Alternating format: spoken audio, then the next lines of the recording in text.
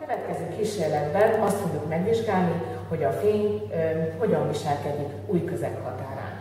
Az első kísérletben azt fogjuk megnézni, hogyha egy tükör felületéhez ér egy fénysugár, akkor mi történik vele.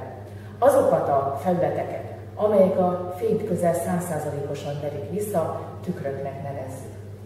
Nézzük, hogy a fény hogyan verődik vissza, hogyha a tükör felületére érkezik. érkezik. Ezen a korongon különböző beosztásokat figyelhetjük meg. Itt van egy tükör, egy sík tükör, aminek az egyik fel oldalapja el van látva tükröző felülettel. A tükör felületére merőlegesen berajzolt egyenest belsési merőlegesnek nevezzük.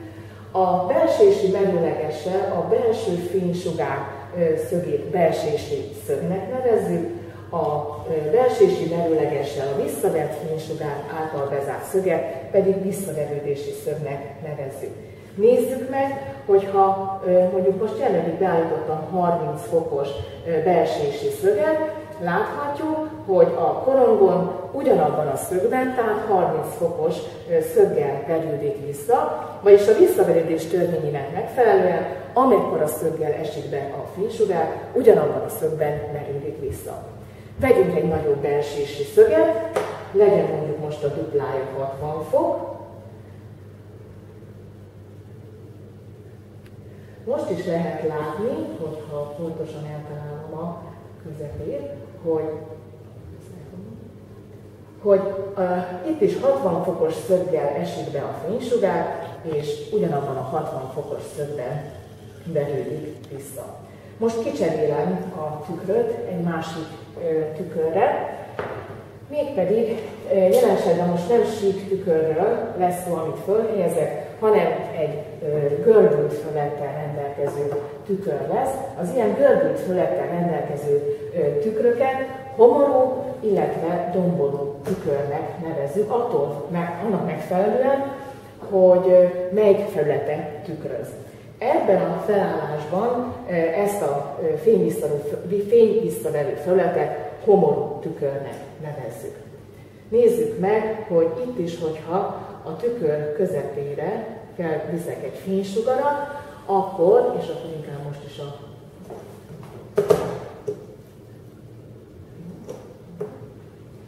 ...30 fokos szöget betöltsünk be körülbelül, tehát 30 foktól indítom.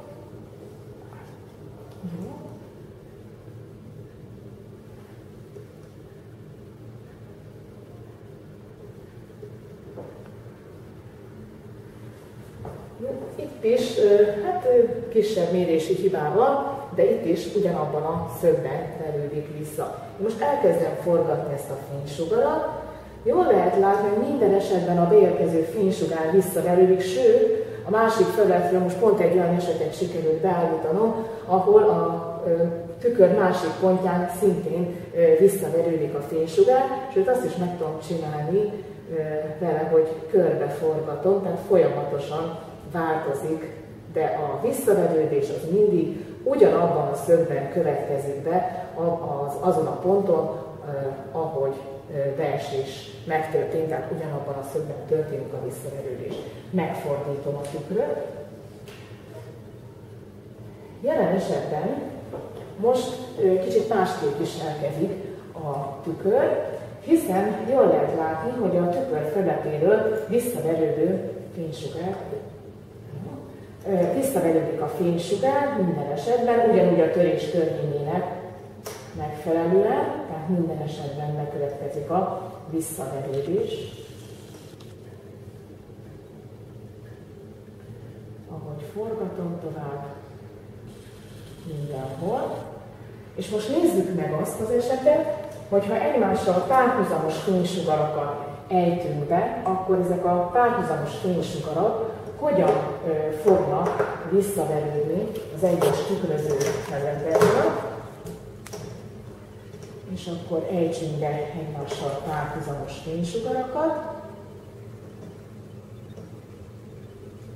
Amint látható, a párhuzamosan beérkező fénysugarak szólódnak, azaz minden egyes fénysugár visszaverődik, úgy verődnek vissza, hogyha ezeket a fénysugarakat szépen meghosszabbítjuk, akkor azok a tükör mögött fognak egy pontban metszeni, metszeni egymást. Az ilyen tükröket, konkrétan a domború tükröt úgy nevezzük, hogy szóró tükör, mert hogy a, szó, a fénysugarakat szórják.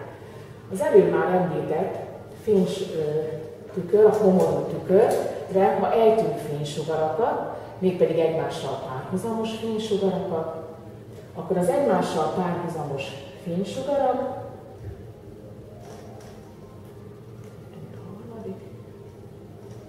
Jó? Az egymással párhuzamosan beérkező fénysugarak, azok pedig egy pontban metszik egymást, az ilyen tükröket pedig úgy nevezzük, hogy gyűjtő tükör. Tehát valóban egy pontban metszik egymást. Ezt a pontot nevezzük mi fókuszpontnak, és ezek a gyűjtő tükrök.